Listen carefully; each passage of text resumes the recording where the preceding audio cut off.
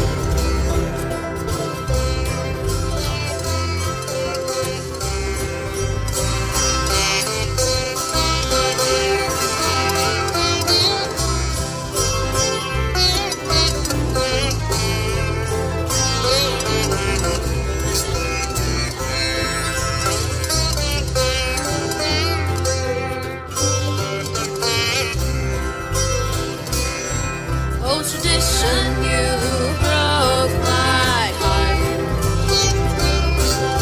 You took my love and you took it away too far. Me, won't you come back to me again? Cause you're the only thing left in this world that I still believe in. That I still believe in.